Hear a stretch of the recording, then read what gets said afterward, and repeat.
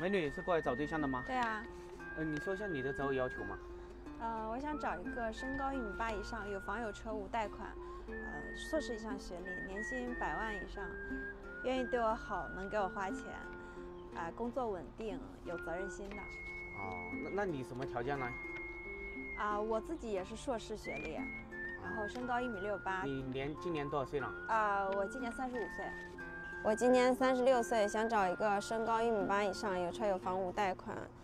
我今年四十岁，想找一个一米八以上，年收入百万，硕士以上学历，有房有车无贷款，愿意对我好，愿意给我花钱，有责任心，工作稳定的好男人。我今年六十八，我想找一个身高一八零，有房有车无贷款，年薪百万以上，硕士以上学历，愿意给我花钱，对我好，有责任心，有稳定的工作的好男人。